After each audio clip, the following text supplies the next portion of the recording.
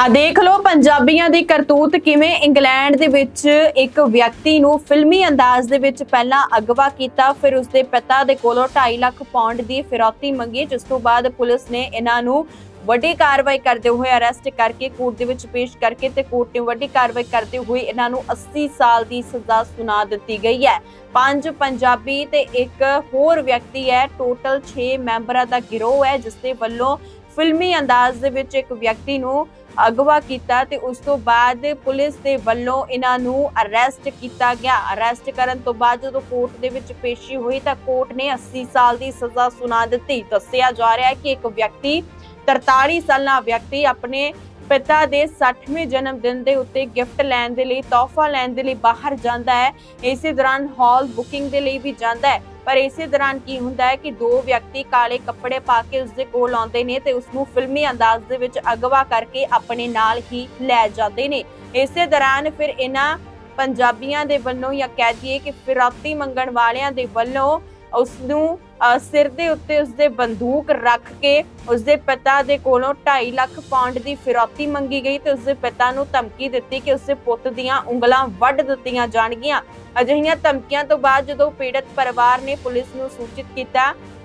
Police ਨੇ ਤਕਰੀਬਨ ਤਕਰੀਬਨ 32 ਘੰਟਿਆਂ ਦੇ ਅੰਦਰ ਅੰਦਰ ਇਸ ਮਾਮਲੇ ਨੂੰ ਸੁਲਝਾ ਦਿੱਤਾ। ਅਤੇ ਇਸੇ ਦੌਰਾਨ ਹੀ ਇਹਨਾਂ ਨੂੰ ਅਰੈਸਟ ਵੀ ਕਰ ਲਿਆ ਤਾਂ ਪੁਲਿਸ ਦੀ ਵੱਡੀ ਕਾਰਵਾਈ ਦੇਖਣ ਨੂੰ ਮਿਲੀ ਹੈ, ਪਰ ਬੇਹੱਦ ਹੀ ਮੰਦਭਾਗੀ ਖਬਰ ਹੈ ਕਿ ਕਿਸ ਤਰੀਕੇ ਦੇ ਨਾਲ ਇੰਗਲੈਂਡ ਦੇ ਵਿੱਚ ਇੱਕ ਨੌਣੀਆਂ ਹਰਕਤਾਂ ਕਰਦੇ ਹੋਏ ਪੰਜਾਬੀ ਨਜ਼ਰ ਆਏ ਨੇ ਇਹਨਾਂ ਦੀ ਪਛਾਣ ਵੀ ਹੋ ਚੁੱਕੀ ਹੈ। ਜਿਸ ਦੇ ਵਿੱਚ ਇਹਨਾਂ ਦੇ ਨਾਮ ਸਾਹਮਣੇ ਆਏ ਨੇ, ਜਿਸ ਦੇ ਵਿੱਚ ਇਸ ਦਾ ਇੱਕ ਦਾ ਨਾਮ 58 ਸਾਲਾ ਦਰਸ਼ਨ ਰਾਠੌਰ ਦੱਸਿਆ ਜਾ ਰਿਹਾ ਜਿਸ ਨੂੰ 16 ਸਾਲ ਦੀ ਸਜ਼ਾ ਦਿੱਤੀ ਗਈ ਹੈ। 30 ਸਾਲਾ ਸਿਰਵਾਨ ਰਾਠੌਰ ਨੂੰ 13 ਸਾਲ ਦੀ ਸਜ਼ਾ ਦਿੱਤੀ ਗਈ ਹੈ। 34 ਸਾਲਾ ਇੰਦਰਪਾਲ ਸਿੰਘ ਨੂੰ 14 ਸਾਲ ਦੀ ਸਜ਼ਾ, ਜੈਮੀ ਰੈਗਟ ਨੂੰ 12 ਸਾਲ ਦੀ ਸਜ਼ਾ 56 ਸਾਲਾ ਰਣਵੀਰ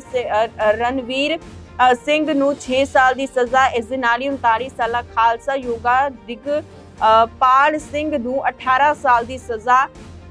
ਸੁਣਾ ਦਿੱਤੀ ਗਈ ਹੈ। ਤਾਂ ਪੁਲਿਸ ਨੇ ਵੱਡੀ ਕਾਰਵਾਈ ਕਰਦੇ ਹੋਏ ਇਹਨਾਂ ਨੂੰ ਅਰੈਸਟ ਕੀਤਾ, ਪਰ ਮੰਦਭਾਗੀ ਖਬਰ ਹੈ ਕਿ ਕਿਸ ਤਰੀਕੇ ਦੇ ਨਾਲ ਇਹਨਾਂ ਪੰਜਾਬੀਆਂ ਦੇ ਵੱਲੋਂ ਇਸ ਤਰੀਕੇ ਦੀ ਕਾਨੂੰਨੀ ਹਰਕਤ ਕੀਤੀ ਗਈ ਹੈ ਕਿ ਇੱਕ 43 ਸਾਲਾ ਵਿਅਕਤੀ ਨੂੰ ਉਸ ਵਕਤ ਅਗਵਾ ਕੀਤਾ। ਫਿਲਮੀ ਅੰਦਾਜ਼ ਦੇ ਵਿੱਚ ਜਦੋਂ ਉਹ ਆਪਣੇ ਪਿਤਾ ਦੇ 60ਵੇਂ ਜਨਮ ਦਿਨ ਦੇ ਉੱਤੇ ਤੋਹਫਾ ਲੈਣ ਦੇ ਲਈ ਜਾ ਰਿਹਾ ਸੀਗਾ ਤੇ ਉਸ ਦੌਰਾਨ ਪਿਤਾ ਨੂੰ ਧਮਕੀਆਂ ਦਿੱਤੀਆਂ ਉਸ ਦੇ ਪੁੱਤ ਦੇ ਉੱਤੇ